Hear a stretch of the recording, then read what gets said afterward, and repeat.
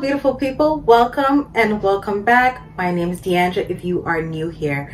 This is a tag that is so late. I was tagged last year around five months ago, first by Lo Yeye and then by India from Bags and Lifestyles.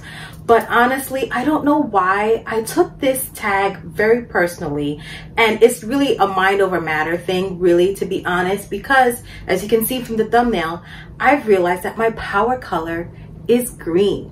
It was really a great analysis, this tag, to see what color do I gravitate to most. And it is green. And I took that so personally because I was thinking the Wicked Witch of the West I don't know. I was just thinking like, you know, green is jealousy and greedy and all that horrible things. And I'm just like, what does that mean for me? What does that say about myself? I, and as I said, this is all up in my mind. I took it very personally, but now it's been some time. It's a new year. And for some reason, it's St. Patrick's Day, right? And now I have a new output and thought process about this color green and I was like, okay, I'm going to do the tag now because I feel a bit more comfortable. For some reason, I just, I just couldn't look past the whole Wicked Witch of the West. I really couldn't. I just couldn't really look past that at all. And now I can think of lucky leprechauns, four leaf clovers, all that lovely stuff. So in the spirit of St. Patrick's Day, it's also my father's birthday as well. I am showing you all of my green handbags and honestly, I have seven of them. That is a good amount. I did not realize I had that much, but as I said, these tags, I personally feel these tags make you analyze your choices and what you gravitate to. And honestly, some of them I have used, some of them I have not used at all. So let's go with the smallest one, shall we? Of course, my Kurt Geiger wallet on chain in this quilted leather. I've this is in my quilted video. If you have not seen it, I'll link it down below. It has ample space. Honestly, I use this from time to time. This was my first quilted bag. I love this bag. The quality on this bag is superb, to be honest. I'm actually thinking of getting this bag in a denim version. Denim is all the rave right now, but listen, I know this bag works for me and the Coach denim does not float my boat at all. It does not appeal to me. I know it appeals to many people. I've seen the YouTube videos, but honestly, is not my cup of tea. So I'm thinking of getting the denim version to this. So this Cult Gaia purchase, oh, I love it. I do. I love it a lot. It is a jade acrylic um, clutch. There is no crossbody strap, no nothing. You literally hold it like this. But let me tell you, once you put stuff in it, it is rock solid hard. It is heavy. It is everything in a nutshell, but it's so damn cute. Honestly, Cult Gaia does really unique bags, particularly clutches. I really like them for clutches and I have three of them.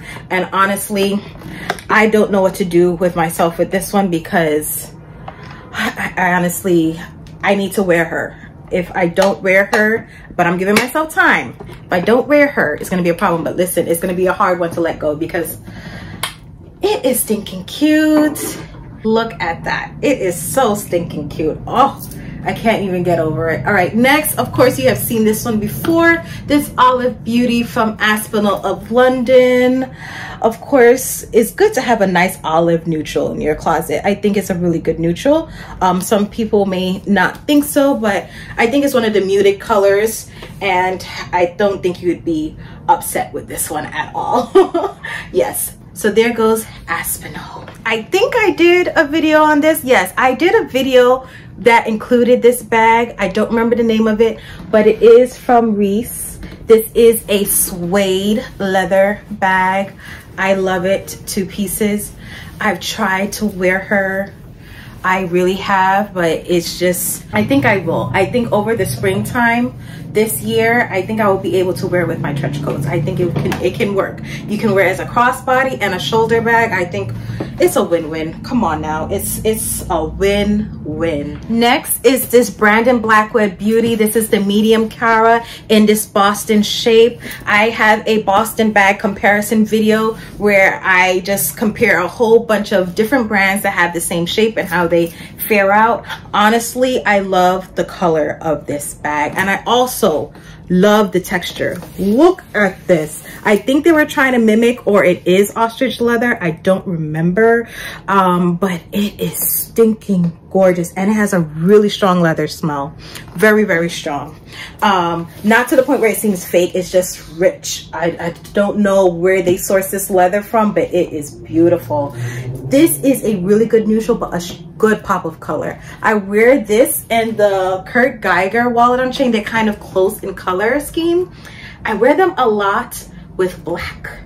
And honestly, although it's a neutral, this pop of color just screams. It's the perfect addition and I love it. So yes, my next uh, my next green bag, which I've worn a good amount of times to be honest. All right, so next is this Givenchy Mini Antigona in this mint color. If you have not seen my luxury video, you um, will see a little bit more detailed analysis of this. I love this bag. Have not worn it yet. This is one of the few that I have not worn yet, but I think this year that may be changing. So stay tuned about that. But as you can see, it packs a punch. It's almost like a Boston bag shape in a sense, I think at least. And it does have the crossbody strap. I love this color so much. All right, lastly is this beauty here. I can't get enough of this bag. If you don't know about Tori Sudan, I'm gonna link down all the videos that I've done about this brand because they are a wonderful black owned brand that does really good bags and they're most they're mainly a shoe brand to be honest but they have ventured out into bags and honestly this gives me Chanel vibes the tote Chanel totes that they have ah this gives me the Chanel vibes through and through. And this is what I wanted. I wanted a classy tote when I wanted not to compromise on what I'm bringing. And I still want to look cute at the same time. Perhaps you have a special function that you're going to this is the bag that I would be carrying. I do want a classy tote in like a black color and they did have it in black. I just wanted green. Green was calling my name and I got it. Honestly, I have not worn it yet because it was stored away in its box and I was not seeing it. Plus, it is a classy tote. So this is not something I'm going to be wearing every day. I'm just gonna be honest with you. So if this is your vibe every day, then it would be applicable and you would have a lot of use out of it. But I knew when I bought this, this was gonna be an occasional bag. So I'm not unhappy with the fact that I haven't worn it. But yes, this is the last one of the bunch. And I love all of these bags. Let me see if I can find a place to put it. So these are the bags that I have in varying shades of green and also textures, I believe. You have some plastic, some suede, and some quilting. I love these bags. I think honestly why I gravitate towards the color so much is because honestly for even the green bags that I do wear consistently they add so much to an outfit they they just they look juicy they just give what they're supposed to give out of every single color even my neutrals I don't think at least it's in my head I don't think they give the oomph like a green bag does to be honest I hope you guys enjoyed the video um, I'm sorry for how long this took to do. And honestly, as I said, I just had to get over that mental block. And I hope you guys are enjoying your St. Patrick's Day and however which way you choose to enjoy it. I hope you guys are doing well wherever you are. And as always, have a good one. Bye.